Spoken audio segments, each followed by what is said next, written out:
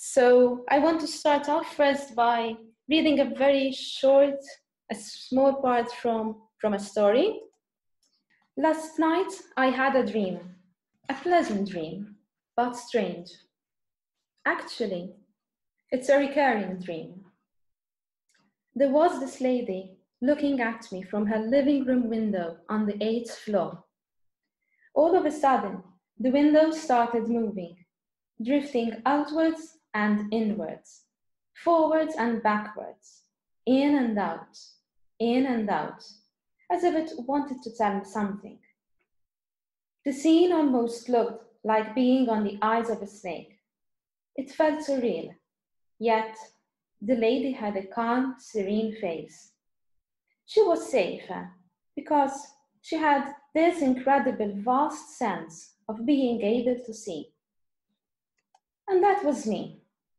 Yes, me with wide open arms, giving her the possibility of being able to see forever, over and beyond my distant horizon. So I will be presenting this project called No Man's Land, which eventually led to a further spin-off to a publication called Nkejjen or Kejjen, which is the book I was reading from. No Man's Land um, formed part of a wider exhibition in 2018, forming part of um, the European Capital of Culture program, curated by, the exhibition was curated by Maren Richter. And this exhibition had two parts. So it had a collective exhibition um, in a space indoors and a public program of performances and happenings in public space. And this project actually fits in, in, both, in both parts of this exhibition. Um, so just to set the context for any of our audience who has never been to Malta, so we're talking about the Maltese Islands, but specifically, I would like to talk about the central harbor areas. So if we zoom in further, this is Valletta, the capital city, which together with Floriana, they are two cities that overlook the two central harbor areas. On the right-hand side, Grand Harbor, and on the left-hand side, the Marsamxett Harbor, which the both harbors have a total of 13 localities surrounding the coast. And that is the context for, for my project. Um, and if we go back just one slide, you can observe how the different localities merge and extend so much into each other, where the concept of um, periphery doesn't really really exist. Um, it's quite alien to, to the Maltese Islands, especially this central harbor area. Um, however, we need to keep in mind that these are 13 different localities. Each one has a local council, a municipality that runs this um, each locality. Um, what triggered this project? Actually, what triggered this project goes back to a previous project that I was working on, and it's a detail that I observed during one of my on site visits, walks, um, around this area where I have my mouse, Gżira, Sliema area.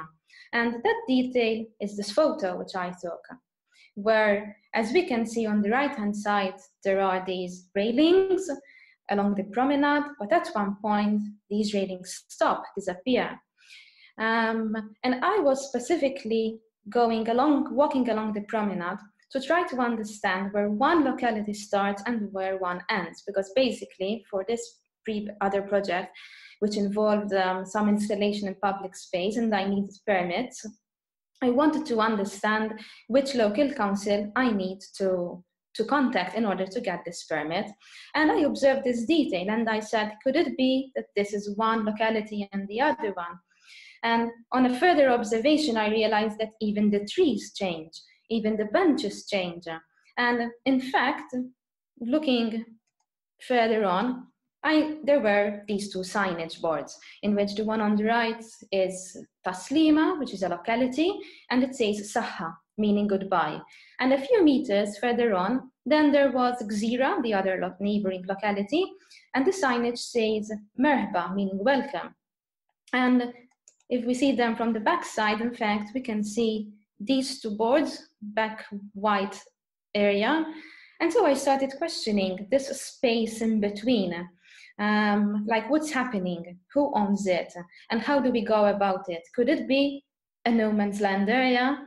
Um, we know that a no man's land is an uninhabited, an unowned, unclaimed um, space. Um, so I was questioning whether we could find a new reading for this phrase, no man's land, within the Maltese, uh, within the local um, Central Harbour area context. And I started looking at the different borders along the coast, along these 13 localities. But at the same time, there was another border that I had to take into consideration, which is the actual sea coast, which, in which we have two different types of open spaces, land and, uh, and the sea. These borders, which are invisible, as I um, showed in the previous map on Google Maps, I started questioning if these little details, maybe insignificant for, for the passerby, which we usually ignore, could these be the details that are rendering the invisible visible and what happens with these spaces in between? Can they be um, scenarios that present us with um, conflicts in terms of ownership and sense of belonging, and whether ownership and sense of belonging, whether they are two different contexts, whether they are they have two different meanings, whether they are related or not. Um, and so further questions were how does all this permeate in our social and political life? And uh, whereas localities merge, um, becoming just one kind of one city, can the sea act as a linking player? And how does the sea come into people's lives? So what happens then if the sea is part of the daily life of the people, but this same sea and the coast are privatized? So these are the questions that I wanted to discuss and answer through a number of conversations with the community members. And I wanted to, the idea was to include all the 13 localities that I mentioned before. There were two types of conversations. On the first level, it was more of a um, uh, administrative, bureaucratic um, uh, discussion in terms of discussing the, these concepts with the local council.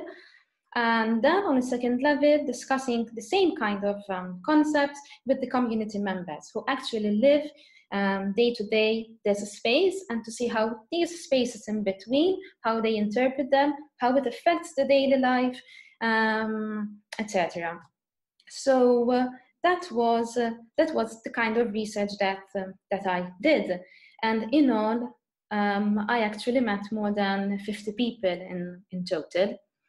And the first presentation was um, a drawing in markers um, on a found platform in the indoor collective space exhibition, in which I presented this alternative map of the area, where all those different annotations are all um, they're all summarizing the different anecdotes the different memories um, and um, whatever was shared during these conversations.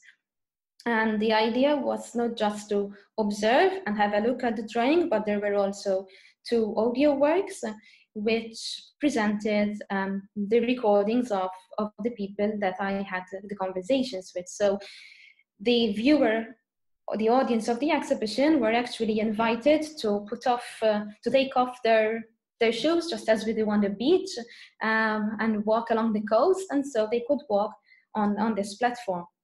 I think the most important part of, of this alternative map are the red areas because they are presenting this notion of uh, borders and margins and this spaces in between and the concept of no man's land. And it's interesting because I did not specify the notion of no man's land whenever I met the, the, the community members, but it was a phrase that was commonly used by them in the sense they are referring to various areas like this is not accessible. And the notion of accessibility came really really really became really really important and they basically said like this is not a place that we can make use of it's just a no man's land it doesn't belong to anyone it doesn't belong to us so just for example, like I can mention two examples, one from each um, harbor maybe. Um, over here, we're seeing this public seafront garden, which uh, along the years has always been contested in terms of ownership. There was a time when it was managed half and half, 50 50, by different um, uh, localities. At the moment, it uh, lies within the territory of Gżira, but the adjacent pavement just outside touching the soil of these trees it's, it's run by Ta' Xbiex, by the neighboring um, locality. Um, so over here, it was very obvious that ownership and sense of belonging sometimes they do not really match. I might feel a, a, sense of belonging, there's some kind of affiliation to it, but I cannot own it because of um, how politics work, basically. Or, like another funny anecdote, is how borders just split streets, sometimes even houses, into between two different localities, and how this affects the daily running, the daily management of the street. Who, which locality is responsible for the garbage collection or for the sweeping of the streets, for example. So over here I drew black garbage bags and then green garbage bags because on the same day, different localities collect different kind of garbage. So these were all like funny, surreal um, anecdotes but they're there, they're real. Um, so again, it's kind of a detail which makes the invisible visible. Um, one other detail which I feel is very powerful is the situation in Floriana, which basically was almost all the areas described as was described as a no man's land um, because of private entities, private hotels, um, the armed forces. So there was a defensive responsibility taking over. And I found this very interesting how a person in his 20s who remembers that over here there was a sand beach, but now it's just a five meter by five meter concrete uh, area. And so he defines this swimming zone as accessible in the absence of its presence. I find that really, really powerful. And uh, um, and the story continues. There are a lot of different examples um, of how no man's land was interpreted, but all in all, it all um, boils down in terms of accessibility. Um, and uh, another detail, another part parallel to all that is this blue line, which you can see over here, which is linking different localities. Basically, it's a proposal for to improve the ferry route system. And uh, because up to now, it's only just from Valletta opposite and from Valletta on the other side to opposite. Whereas in the past, um, there were more ferry stops across both harbors. So the idea is also to revisit a bit of what happened before us and at the same time to question what we're doing now. Um, and this resulted into an abstraction of the map in which the body of water is presented by the white uh, block area. And this second part of the project involved a number of performances at sea, including a number of boat trips, in which um, the audience was invited to select their own pickup point and stopping point, so an alternative mode of transport in a sustainable way because I managed to get hold of an electric powered boat. Um, but the idea was to invite the, the audience to reverse their viewpoint, to look at the land from sea and visit these no man land areas um, along the coast which are not accessible if you're walking along the coast, but they are still accessible um, using a boat. So um, it was a very intimate performance because the boat was quite small. It happened on multiple, multi, it had multiple slots. Um, there was one per harbor, and there was a narrative as well to it. And the narrative, it, I mean, I wrote the narrative, but it was strongly and highly inspired by the conversations I had. In fact, there are certain um, direct speech from from the conversations of of these community members and it was interpreted live. We can see the performer over here on the boat, um, and uh, um, it was a narrative that has a mix of reality and fantasy at the same time. So it was an elaboration of, of that visual map, the alternative map. Over here, I chose this photo in particular because the boat is entering a private space. This was this is the part of the waterfront in Floriana, which um, has been totally privatized and it has been turned into commercial restaurants and bars and a private marina. So part of the performance was also intruding into this private space as the narrative, the participatory narrative continued. Um, and so it highlighted all the these different uh, elements uh, um, of how people made use of the sea in the past in their childhood and what's what happened is what's happening now.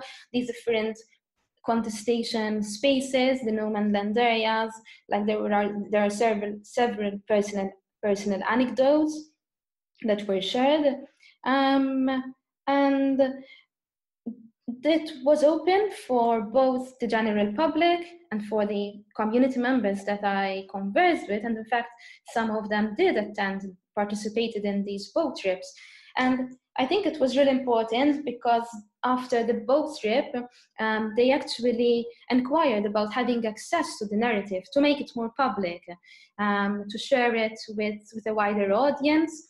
And in fact, this encouraged me to take the project forward and publish the narrative um, in a bilingual publication. Um, and in fact, um, I had it translated in Maltese just, um, just this summer. Uh, and so to conclude, I just want to end by reading just part of it.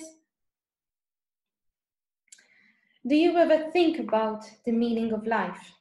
Well, I can give meaning to your life. I am an ancient being, that ancient being that has always shaped the island story. I know everything and I saw everything. I will always know everything and I will always see everything. I'm so wide that the meaning escapes you. But if you're patient and try to listen carefully, you can find that meaning again. Thank you.